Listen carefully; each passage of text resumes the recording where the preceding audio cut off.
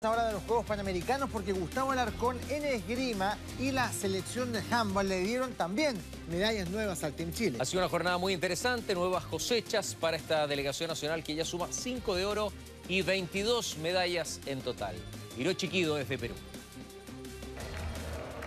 Tras hacer historia ante Brasil, el equipo chileno de balonmano se enfrentaba a su partido más importante. El ambiente era de clásico. El exatleta Sebastián Keitel en el público sufría con cada acción.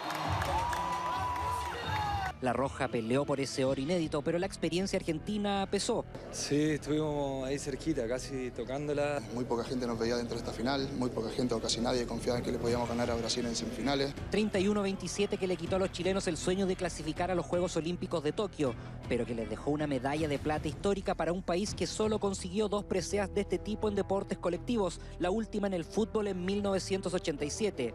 Yo creo que para Chile, por supuesto, que es un avance. Esta medalla de plata es mucho esfuerzo detrás. Inserto en uno de los barrios más marginales de Lima, el complejo de Villa María del Triunfo es un escenario de alto nivel marcado por el contraste con su entorno.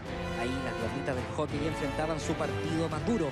Argentina, una potencia en este deporte que tuvo que esforzarse para ganar 3 a 1 a las chilenas. Frustración ocurre solamente cuando no pudimos ser quien queríamos.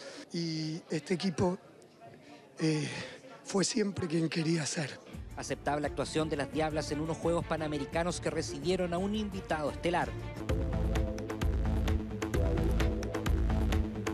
Ganador de 10 medallas olímpicas, 9 de ellas doradas, el legendario Carl Lewis es un invitado de honor en Lima 2019, uno que comenzó su leyenda en una cita como esta.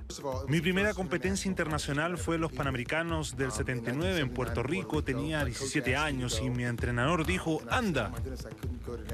El hijo del viento tiene revolucionado a los Panamericanos, incluso se dio el gusto de decir que su presidente Donald Trump es un misógino y racista, pero bueno, eso ya es harina de otro costal. Con una leyenda como Carl Lewis se engrandecen los Juegos Panamericanos y Chile quiere estar a la altura. Hoy consiguió una plata y un bronce y seguirá luchando por más preseas. Para Mega Noticias, el informe de Camilo Soto e Hiro Chiquido.